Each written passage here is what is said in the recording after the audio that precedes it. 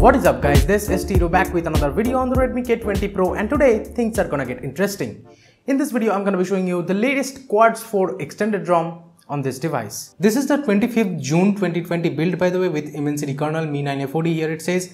And as you can see it says Quartz 4 extended over here. Android version is 10 of course with latest security patch of June 5th 2020 and when I say it's different it obviously is. I have used a lot of custom ROMs in a lot of devices. Not a lot maybe three. But yeah if you like consider all the custom roms the like combination of all of those are a lot and by far right now in my opinion this is one of the most amazing roms that i have flashed on my redmi k20 pro and here is why and if you guys have been following me you should know that evolution x has been one of the most favorite roms of me personally and i have used evolution x since almost when I unlocked the bootloader, which was after one week of getting the device delivered to me. So right now, let's talk what things which I have been enjoying here. First, let me tell you, if you want to flash this ROM on the Redmi K20 Pro, click on the card right over there and you can like flash this ROM on this device pretty simply with that method. Now let's talk about the stock launcher. Of course, we have the Google's Discover page to the left and swiping down gets you to the notification panel, swiping up gets you to the app drawer and here widgets are working totally fine the interesting thing here is that the double tap to sleep anywhere in the home screen is there and this works flawlessly here you should not worry about it and in the settings panel let me show you of this launcher there is only this icon pack then they show google app and allow home screen rotation and stuff like that but yes this gesture i don't know how it is working but it is actually working fine you should not worry about it and this is the paranoid launcher here present by default and on this app drawer, the one thing that I do not like that I cannot disable this suggestions area, which is a bummer for me at least. Now let's talk about the customizations. Well, there are not a lot of customizations, but there are some here and there. Of course, it is not a super customizable ROM because in the name it says AOSPA. So in the display settings, we have the night light adaptive or auto brightness and in the styles and wallpapers, from here you have to change the accent colors. You can just tap on this custom theme and you can hit next and there you have all the accent colors as you can see quite a lot of options are there and you can just like select one and just hit next next and set a custom theme and apply that and that theme will be applied with that accent color. And of course the dark theme works super fine here you should not worry. The colors are set to boosted by default and we have the lock screen display here. And there is also this pulse notification so you can have it on system accent color or the notification color so that's really cool and in the ambient display we have some more customizations. Here we have the vibration and haptic feedbacks and you can control this in-call haptics, then vibrate for calls and you can control this ringtone vibration pattern from here. And from here you can change the double tapping gesture to like anything from here if you have the always on display turned off I guess because it says screen off gestures.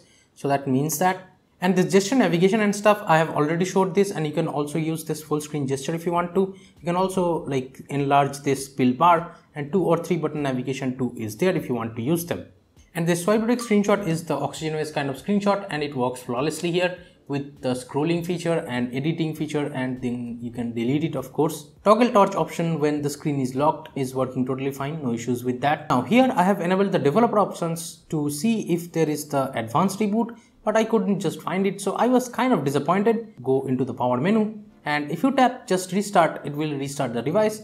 But let me just tap and hold on this and here it says would you like to long press the restart button to extend the restart options? I'll click OK right now if I go into the power menu and tap on restart tap and hold it and then I get the options to directly reboot to recovery and fast boot from here. And there is also an option to quickly restart. So that's really cool. So yeah we have the advanced reboot option but yes it is kind of hidden. And in terms of the quick settings panel this is how much options we get. We get this kind of screen recorder. And I think this is a stock kind of screen recording option. You can also record the audio over here but it does not have an option to change which audio you want to record and stuff like that or you cannot change the fps i guess. And here you can add a bunch of more stuff. Let me show you. These are all the options which are present by default. I also see the nfc option but i am pretty sure it's not gonna work because this is an indian redmi k20 pro which does not have the nfc hardware. Now, the most interesting thing which I have found over here is the fingerprint scanner speed and that is blazing fast. You guys won't believe how fast it is unless and until you experience it by yourself. I would say in any other custom ROM, the fingerprint scanner like feels like a lot slower when compared to this one. This one's fingerprint scanner is just amazingly fast and it works 100% of the time and like whenever I'm tapping the fingerprint scanner, it's just unlocking like butter. It unlocks every time. I did not have any issues while like I have to tap twice or thrice most of the time in other ROMs that happens. But here that's not the case. Even with night light turned on, the fingerprint scanner works 100% of the time. There is no two or three tries here. So that is really good that even in night light or even in normal mode, the fingerprint scanner in always on display as well as on the lock screen works flawlessly. Now let me show you the face unlock here. It shows how to set up face unlock. Here it says set up for limited vision or head motion. Start. Okay, it is quite fast. It's done. It says all set, looking good. Right now, let's try the face unlock. So I'll double tap and as you can see, it unlocks right away. I don't have to swipe up here. So as soon as I double tap on the screen, it wakes up the device and then like it will activate the face unlock here and the face unlock speed is really really fast so while we are in the security stuff, let's talk about another amazing thing which is a bomb for this ROM because this feature is not available in most of the custom ROMs or I haven't seen in any other custom ROM. Of course, if I don't consider MIUI as a custom ROM right now because it is official ROM. So yeah, in any other normal custom ROMs, you won't find this feature. What is it? App lock. It is there by default in the security. So after you have entered the pin, as you can see, there are all the apps and over on the top it shows lock tabs because I have already locked some apps.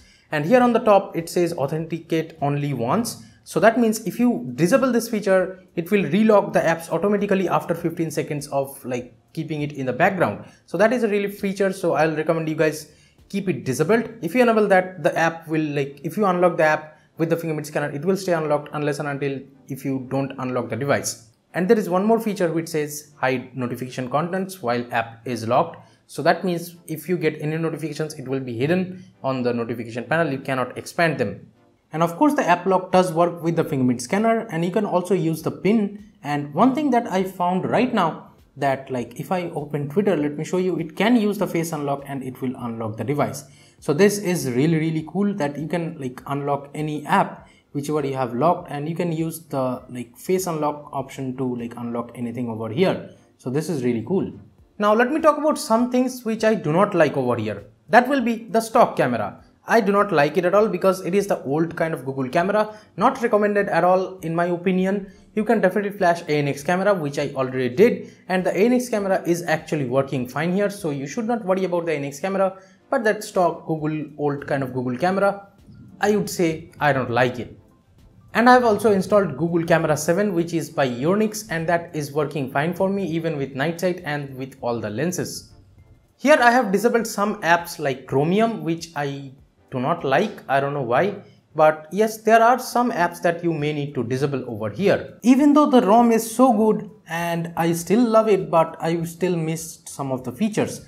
Like there is no adjusting brightness by sliding a finger on the status bar. That feature is simply missing. And there is no always unlock with the fingerprint scanner. So that means you have to enter your pin once you reboot the device for once. Now let me show you the stock dialer. The stock dialer does not have a call recording option. But yes, normal VoLTE calling is working fine. But there is no VoLTE over Wi-Fi calling option. And also there is no VoLTE icon here on the status bar. Now here I found a little bit of touch issue when I'm swiping down the notification panel and I'm swiping it up from that manage kind of section. I think it is getting a little bit weird here and there is also a clear all button for the notifications which is good but I would say I don't like this manage button over here. So if the developers of this ROM is watching please can you remove the manage button. Now let's talk about the battery life shall we. You may think the battery life won't be that good everything is so good well, here it is.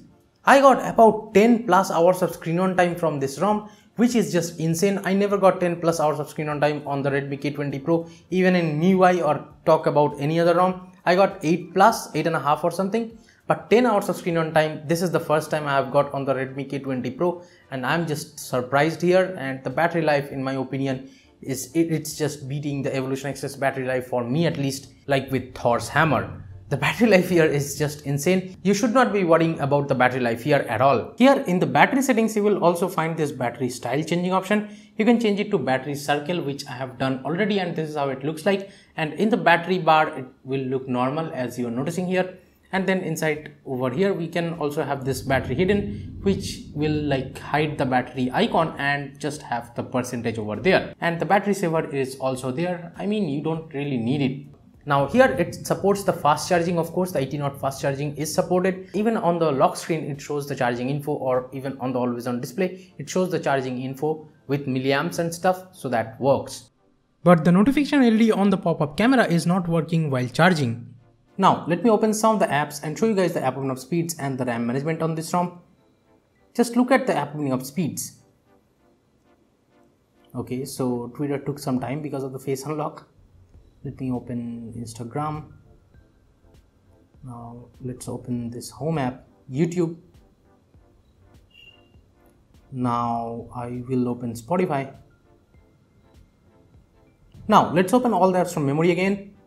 File explorer Facebook Twitter. Okay it asks me for that face unlock again. Because it locks that app after 15 seconds if it's not opening or you are not using it. So yeah and as you can see the RAM management over here is just amazing. I do not have any issues. I can switch between apps all day long. And even though this is a 6GB RAM unit I have no complaints with the RAM management or daily driving performance of this ROM. Everything is just buttery smooth and fast over here. And the experience is miles ahead of other custom ROMs here. The gaming performance and stuff should be pretty good here. And in terms of the benchmarks here are the Antutu and Geekbench score for this ROM. Definitely another thing which I'm missing over here that would be the Mi Audio Direct that is simply not present in the sound settings. But the sound output via the headphone jack and Bluetooth as well is really good. I did not have any issues with the sound output of this ROM. The sound is great. It's flat. I like the flat profile so yeah I don't have a problem with it. Also the volume panel looks quite sick and you can also expand it just like this you can control any volume from here and there is also the live caption on the bottom right and then I can control the vibrate or silent mode from here. And one more good thing about this ROM, there is also a system updater so you can check for updates from right here. And whenever you want to update, you can update it from here if you want to use the system updater. The DRM info still shows as level 1 here if you are worried about it. So you can stream Netflix or Amazon Prime videos in 1080p here. And the banking app should be working right out of the box too because the safety net status is passed and I have set up my Google Pay and it is working totally fine. No issues with banking apps here. I was about to finish the editing but right now I just noticed that the default display refresh rate on this ROM is set to 66Hz. That's why it feels a lot smoother than any other ROM.